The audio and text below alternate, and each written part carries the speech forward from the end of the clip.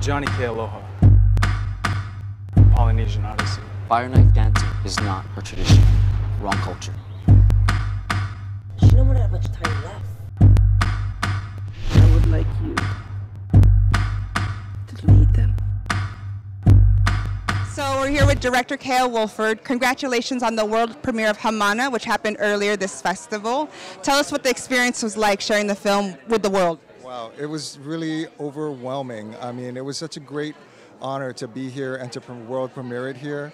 Um, I really was excited for the kids that, that really gave so much of their time and their talent to, to be here. And um, I really wanted to make it something special for them because a lot of them first-time actors, um, not non-actors as well, um, and they seemed like they really, really had a great time. So I want to thank everybody at LA, LAAPFF also who made this experience just so amazing and welcoming, and um, the response was fantastic.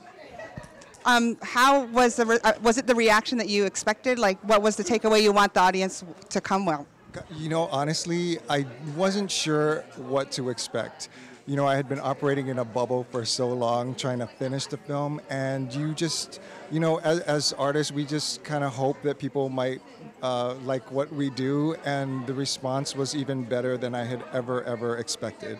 You know, our little film um, from Hawaii about uh, just a little touch of what our culture is about, to have it be accepted and um, and really embrace the way that it was was really, really overwhelming.